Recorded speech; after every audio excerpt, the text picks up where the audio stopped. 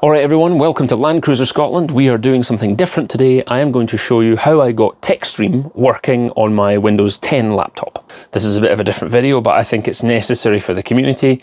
There's a lot of misinformation, and this is old software, and we're using like dodgy cables that we're buying off the internet, because let's face it, none of us are spending £800 on a Toyota license, but there's other ways to get this working. I'm going to show you how I got TechStream working on my modern laptop, and it is an absolute nightmare, and this video will be a bit more complicated to make because I'll show you laptop footage and phone footage. I've even got a script, which is a first for me. Now you need to know that this is an absolute pain. If it goes smoothly, you'll need a basic knowledge of computer systems.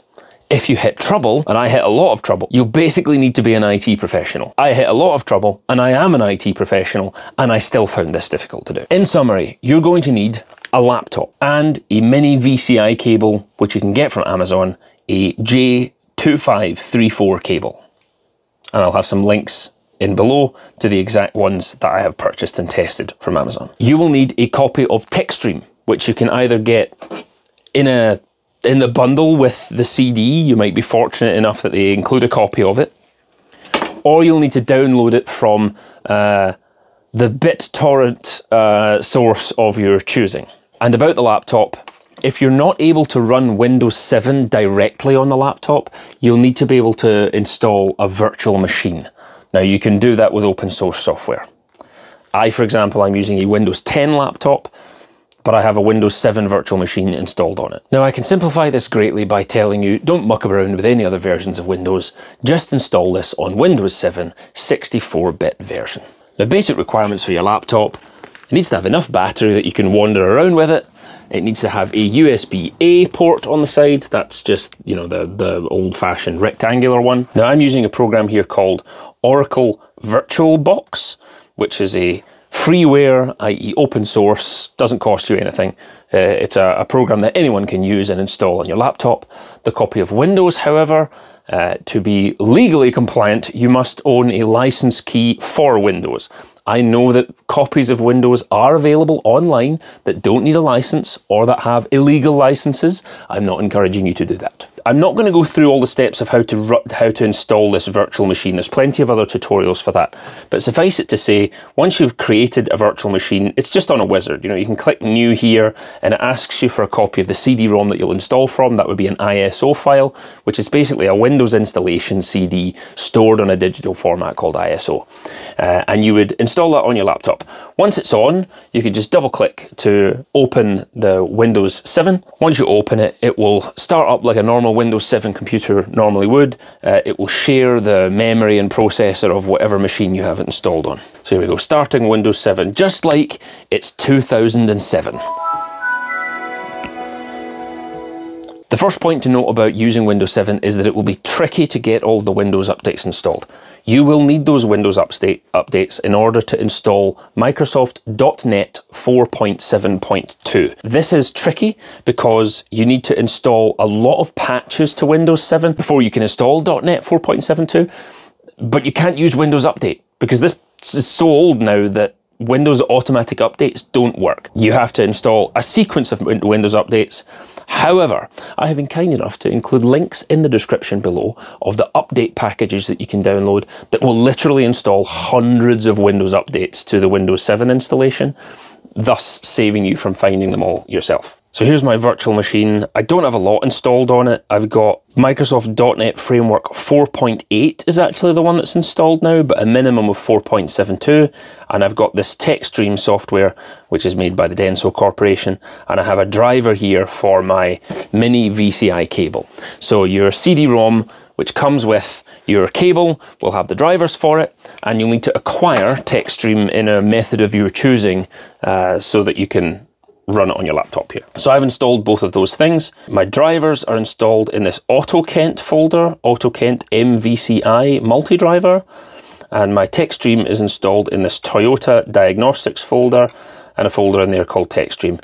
And then that binary folder has the actual executable that runs the program. It's down the bottom here somewhere, and it's just called TechStream. We don't run it using that method. There's a there's another shortcut to do it uh, because of um, issues of licensing which I will show you in a minute. Uh, when you're using a virtual machine, you need to have the cable plugged in. It doesn't need to be plugged into the car, but I'll just plug it into the side now. Windows 10 gives me an update noise to say that it's been plugged in. I get a little red light on my cable here that shows it's got power. But then I have to pass that device to the virtual machine. Up here on the devices menu, I hit USB, and then I go to HX MVCI. So mine's coming up as an HX brand, but you'll, you might have something different, but it's going to be a VCI cable.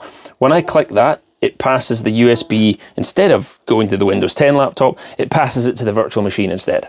That makes it available for TechStream to use it. It's magic when it all works. Then you install your drivers from the CD-ROM and you install TechStream from wherever you got it. So I'll just show you on my device drivers here under USB uh, controllers. Uh, I've got a USB serial converter, that's the name of the device that you'll see. The J2534 connector will come up as a serial bus controller, which in this case says it's manufactured by FTDI, whoever that is. And my driver version is actually version 2.6 uh, drivers from back in 2009 um, so that's working well and I hit drivers details here and you can see there's a bunch of different files installed in the system32 folder are you beginning to see how this gets complicated and you might need to be an IT professional Hopefully you're all still with me. So here's a preview of all the patches that I've had to install on this Windows 7 virtual machine. Uh, 2019 servicing stack, 2019 security update, 2020 servicing stack, 2020 security monthly roll-up, security and quality roll-ups for various .NET versions. Anyway, these, these links, I'll post them in the comments so that you can download files from there and run them directly on the PC. One more note, you might get an error message that says that there's a file missing called MVI30, sorry, let me get this right, MVCI32.dll.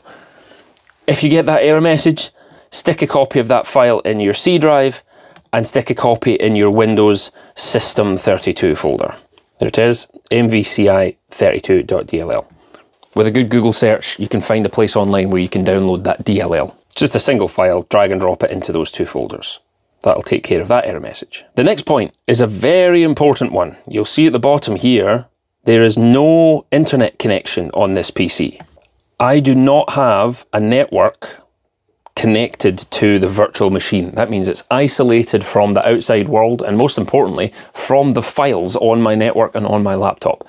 If you're downloading files from the internet, particularly pirate software, illegal licenses, stuff from torrents, it is almost certainly full of chlamydia.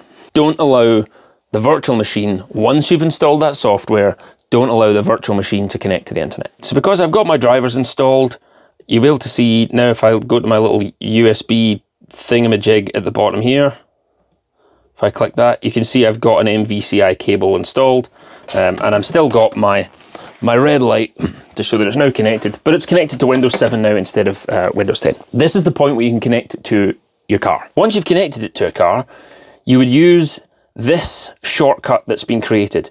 Assuming you don't have your Toyota license yet, and you're running an unlicensed version of TechStream because you haven't paid your £800 license fee yet. You would probably be running a patched version, shall we say. Don't run the normal version, don't update TechStream, click the patch or, dare I say it, cracked version that you've been provided by your CD. In my case, I've got one here that's a shortcut on the desktop TechStream patch 64-bit. I've deleted all the other shortcuts because I don't want to hit the wrong one.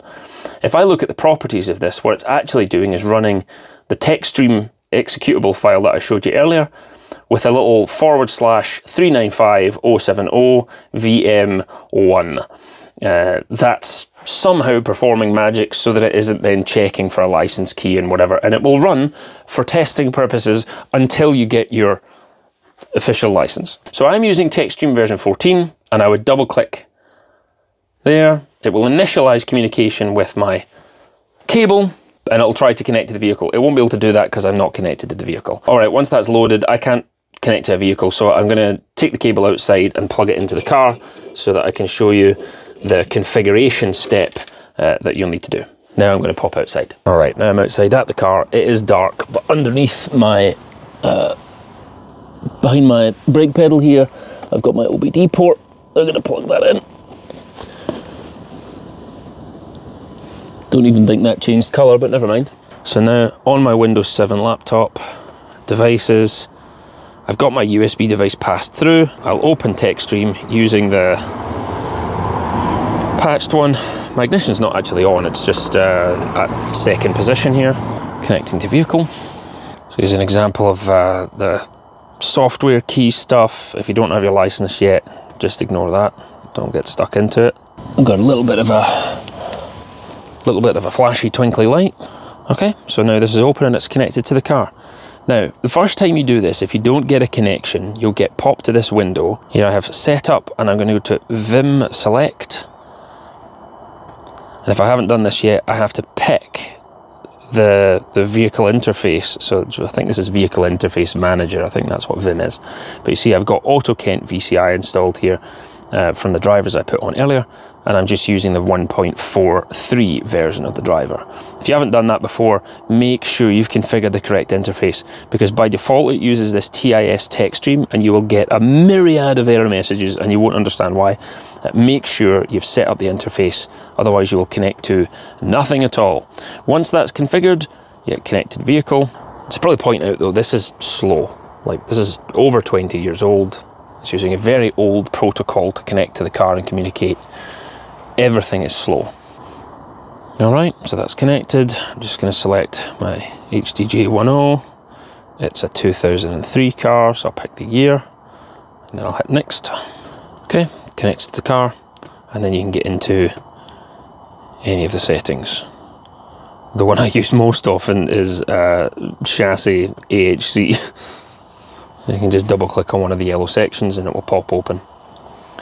No diagnostic codes, which is good, but if I hit data list, I can see all my sensor readings that are available. And there'll be like 20 readings that it can get, even with the ignition off.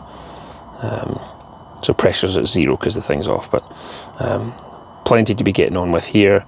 And it's the same for the engine. If I go back, I can do system select. Uh, even though I have HC open, it's on a tab at the top here, HC Live. I can still go into the engine instead and it will then open up multiple tabs on the top so that I can review more than one thing at a time. So I do have an engine diagnostic code for my airflow meter circuit. That's intermittent, but I'll clear that and see if it comes back. Might be that my MAF is on its way out. Can clear that, simple as. And I've still got my HT connector open. I can switch back and forward. It just takes a bit of time to reload when I'm flicking back and forward between sensors. Um, so what was I doing? Engine, data list. It will probably read very little from the engine because the car's actually turned off. Alright, so it's got some things. Some temperatures from static. Engine speed and RPM. I'll just turn the engine on. So now you can see it's starting to read my RPM, timing, injection quantities, and so on. So it's nowhere near as advanced as a modern system like you would get on an Audi or something like that, but there are still readings that you can use for basic diagnostics. Oh, because I've turned the engine off, that disconnects, so I need to go back to position 2 and retry and I can connect. I don't have to reconfigure, just as long as my power is on, I'll be able to reconnect to the car. There it is. Okay, so that's um, that's about it. The one trick I found was this Vim select. That tripped me up for a long time because I hadn't configured the right Vim. It was on that default TechStream thing. You have to configure it to use the driver that you have installed, which in my case is an AutoKent Mini VCI driver. Right, I'll pop back inside for final thoughts. So, in summary, laptop with Windows 7 64-bit. If you can't install that on the laptop, run it in a virtual machine. Get yourself a 2534 cable, a mini VCI cable. You can get them on Amazon. I'll include some links below. Install the drivers, install TechStream, only run the patched version of TechStream so that it doesn't cripple the software, and you will have to go through a laborious process of doing Windows updates and installing .NET before you can actually run TechStream. Change the configuration on the cables so that TechStream attempts to run the correct cable driver and then connect to your car. Things not to do, do not trust this software to be virus-free. Don't update the firmware or you will brick the cable and it won't work anymore. And don't update TechStream or you will disable the software and or any licensing workarounds or patches. So hopefully this guidance helps you configure TechStream uh, for yourself on your own laptop if you can get a hold of the right cable and if you can get through all the, the, the battle of driver installations and software patches and so on. Um, this is a, a, way of doing this for the price of a £40 cable uh, rather than spending you know six, seven, eight hundred pounds on a, a TechStream device. Um, or one of the other ones. I've seen some Android-based tablets, like some of the Topdon tablets. Um, I'll borrow one of them off Big Dave uh, and I'll do a bit of review of what that can do. But because this is an older system, it's it's less widely supported, and because I am not a Toyota dealership, that makes it hard also. It is possible to do TechStream at home. It is tricky. You will need a laptop and some ability. You'll have to be quite tech savvy in order to get it set up. But I do hope this guidance helps you uh, get it installed on your own uh, and try and cl clear up some of the sort of misinformation that's that's out and about there uh, on the internet. This is literally the cheapest VCI cable that I could get a hold of, and it came with a CD that included software, um, which helped me. I mean, I had it came with I had the drivers and I had TechStream anyway, um, but the the CD that came from China also included the software, so I installed that, and it came with the patches and so on to to uh, get around the licensing restrictions for the for the old sort of abandoned software. Um, I normally use TechStream version 14, version 16 and version 18 are also widely available.